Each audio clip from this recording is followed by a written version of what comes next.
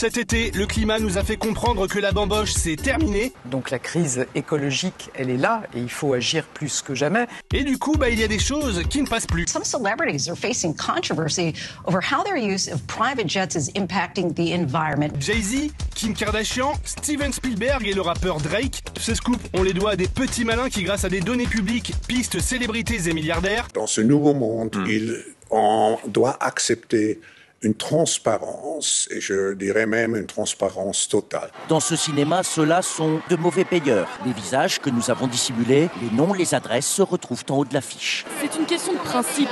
Il faut les dénoncer, ces gens-là.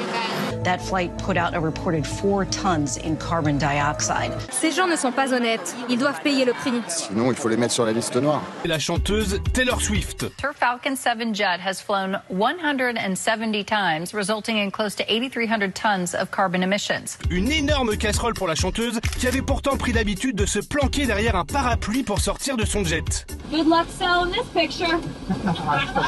On vivra tous dans une sorte de transparence totale, tôt ou tard. Oui, exactement.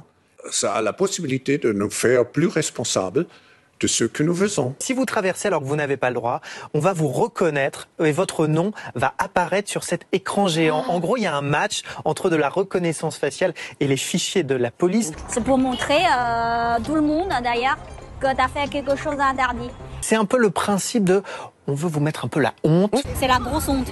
C'est la grosse honte. Tout va être transparent. Et il faut s'habituer, il faut se comporter ainsi. Nous, on doit aussi changer les comportements. Tout le monde doit changer ses habitudes.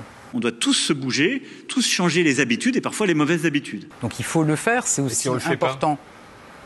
Enfin, je pense que les Français sont responsables, enfin globalement. Il faut aujourd'hui d'abord que ça passe par vous l'avez dit, deux choses, l'exemplarité et la responsabilité. Monsieur le Président, est-ce qu'on a changé de société et est-ce que demain, on doit s'attendre à vivre dans une société de contrôle permanent? Je préfère ce terme de société de vigilance ou de responsabilité que société de contrôle. Si on n'a rien à cacher, euh, il ne faut pas avoir peur.